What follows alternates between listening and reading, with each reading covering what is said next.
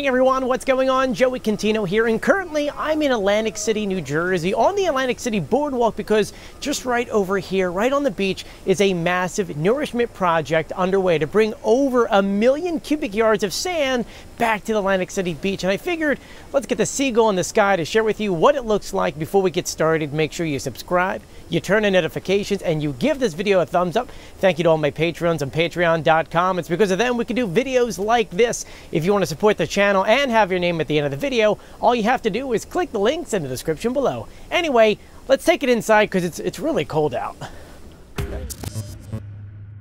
Hey, did you know that you could sponsor our videos? In the first 15 to 20 seconds after our bouncer, your business could be here. If you want more information, shoot us an email at joey at wildwoodvideoarchive.com. And hey, you're not only advertising your business, but you're also helping local journalism.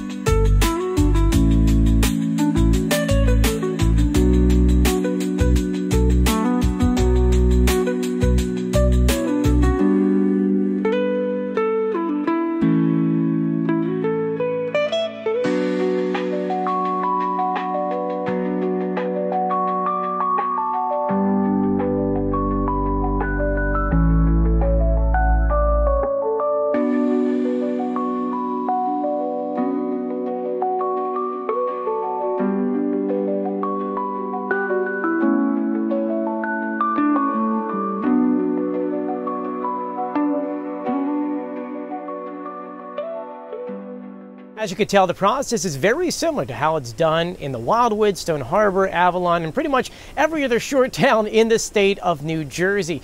Now, I'll be sure to keep you guys updated on the island-wide project that should be coming to the Wildwoods potentially in the fall. And if you haven't done so yet, though, make sure you do subscribe, you turn on notifications, and you give this video a thumbs up. As always, I'll see you on the beach, which is right over here. See you later. Bye.